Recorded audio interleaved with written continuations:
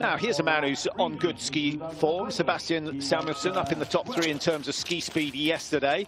That, I think, will have given him encouragement. I think we're going to see him going hard. Uh, what's going to happen on the range, we'll have to wait and see. Uh, he missed one on the first two shoots. That sort of could have been pre-season nerves. I hope today he gets it a little more under control.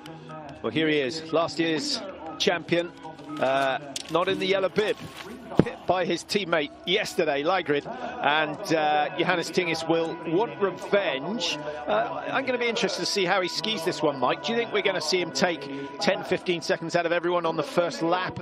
Now, Samuelsson the quickest so far, and it's going to be tight between himself and Bø, but I think Samuelsson might just miss out. He does by 1.3, so uh, the two Bø brothers, two of the three fastest.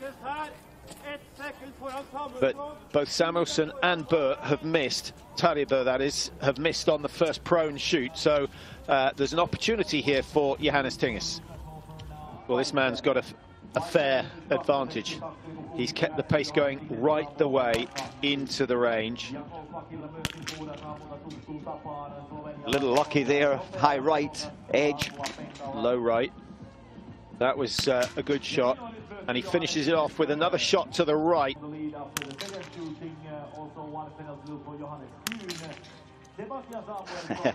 That's the way to do it. Yeah, very, very good from Samuelsson. This is it, that familiar position.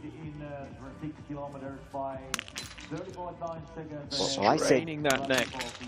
I said yesterday he'd taken one centimetre off the, the butt the back part of his rifle is actually two centimeters, but still reaching a long way, but it works so well.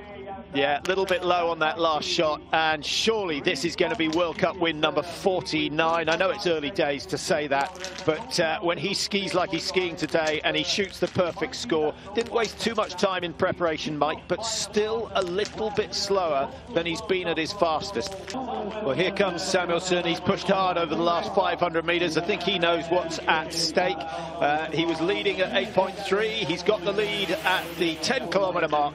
Here comes Johannes Thingnes 45 seconds clear last time we saw him. He might just have extended that. Has he by a fraction? Not much. Samuelsson going down into second, having put in a very, very good finish. But a brilliant performance by Johannes Thingnes Bø, a second and uh, I dare say a first today.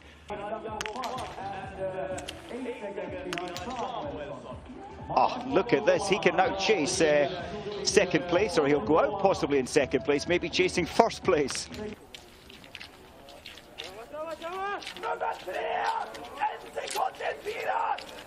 Last time we saw him, he was having a look at uh, a crack at the top three. Christiansen on 51 is in trouble. It's going to be Sweden who uh, go on to the podium positions. Excellent run from Ponsiluoma. He uh, was, what, 53 behind at 8.3. And that's uh, all, folks.